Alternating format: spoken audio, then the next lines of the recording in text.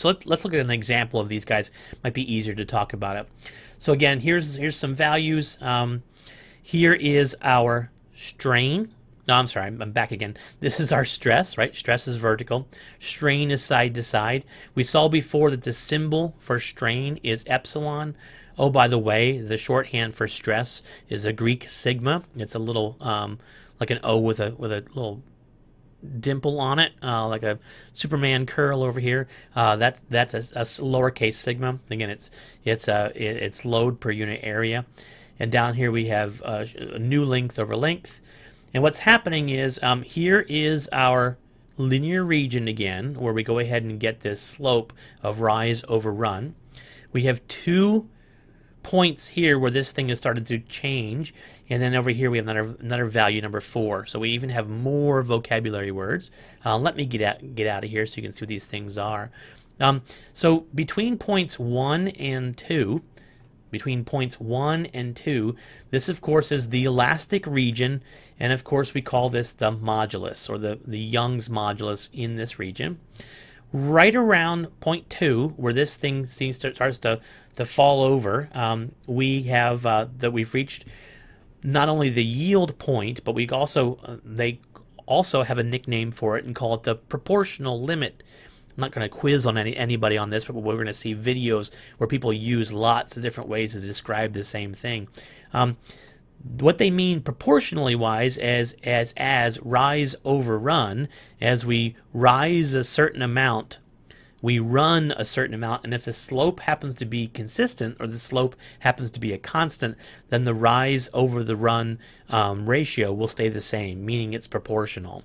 So um, this is another way to say the slope has changed. So between the very beginning, point 1, and the end, point 2, the slope is not changing. So the data is proportional. This, the, the ratio of the rise over the run has the same proportion until we get up into this region. And then once we get into round three, we've reached the sort of the yield strength where this thing is starting to yield. And then it turns out this it's yielding the whole way across this region up here.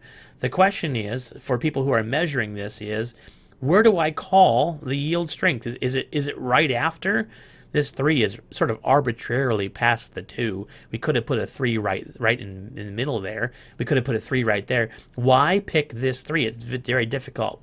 So one of the things that the engineers have done is they sort of standardized this and said, let's pick a point in the yield region that specifically points to a value along the strain axis. Now, here's the here's the, the special point. It's not a trick, it's just a special point.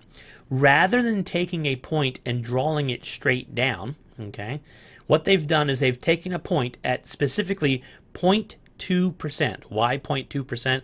I guess lots of samples happen to have values and data at 0.2%. What do they mean by 0.2%? Well, if you take the original length and divide, I'm sorry, the, the change in length and divide it by the original length, the change is 0.2%. Not 2%, but 0.2%. It's kind of small. If we were to walk along this axis, okay, there's there's 0.1%, there's 0.2%, there's 0.3%. If we were to walk along this axis at 0.2% and we were to draw straight up, Notice we hit the data where we're still in the elastic region. That wouldn't tell us much about the yield strength at all. So the engineers sort of put their heads together and said, hey, wait a minute. What if we do go to a special position on the y, on the x-axis rather, um, we go right to 0.2%, okay, and we go up, but instead of going up, let's get fancy about it. Let's go up, but instead of being vertical 90 degrees, let's follow a parallel line. Let's follow the same slope as our Young's modulus. Let's find the proportionality between the rise and the run and do the exact same thing starting at 0.2%, which is why this is labeled E and this guy over here is labeled E. So what we have here is we have a line along this slope and we have a second line along this slope that started at 0.2%. And oh, by the way, look at that. Miracle of miracles. It happens to cross the data somewhere out in here in this crazy region where there's yield all over the place. That's what we're going to call the yield strength at 0.2% offset. It's a giant monster mouthful, but it sort of makes sense. And it turns out um, that our UTMs, the computer actually calculates it for us. It's very easy to do. The computer calculates the Young's modulus, the slope of this line, and now that it has the slope, the computer knows where to start a line at 0.2% on the strain axis and draws a secondary line and then tells us where or shows us where this crosses over. So again, this is just a just to start where we're at here. Um, we'll be using this um, all semester, especially now when we're talking about how materials behave. We'll be talking about the yield strength at 0.2% offset. Again, it's kind of arbitrary. Why 0.2%? 0.2% happens to be a very popular place where lots of materials are still around before they've broken.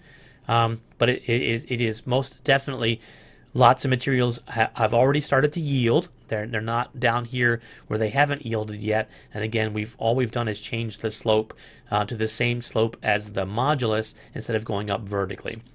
So those are all our vocabulary words. Again, getting me out of here. Um, the elastic region is where we calculate the modulus. The proportional limit is where it, it, transitions from being elastic to plastic. Also could be the yield strength or the yield point. We call it the proportional uh, limit. Again, the yield strength is anywhere along here. Three just happens to be an example. It's much more common to say yield strength at a particular strain, and the strain we're using is the strain at 0.2%. Okay, it's a lot of information to throw at you, but we'll it all makes sense pretty quickly.